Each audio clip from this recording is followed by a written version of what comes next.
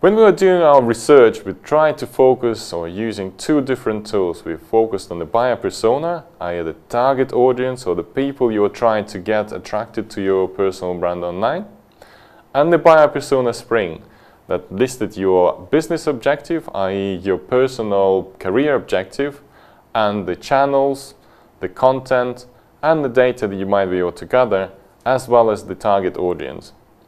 So if you think of all these five stages of the buyer persona spring, did all of these uh, stages materialize in the way you wanted when you were trying to implement this work?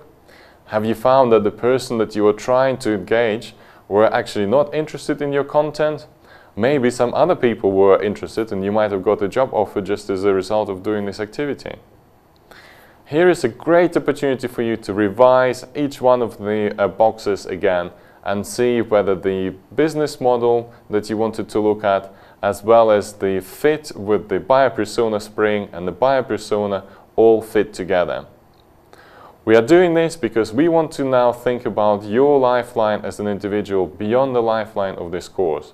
We are trying to think what it is that you might want to do once this course finishes and you've done your assessment and now you're thinking about your career and how you want to engage with the individuals and companies beyond the lifeline of these activities.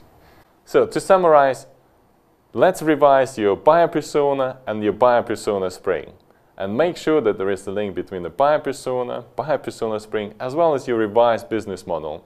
Because ultimately we are now thinking about you the, beyond the lifeline of this course and how you will be developing these things in the future.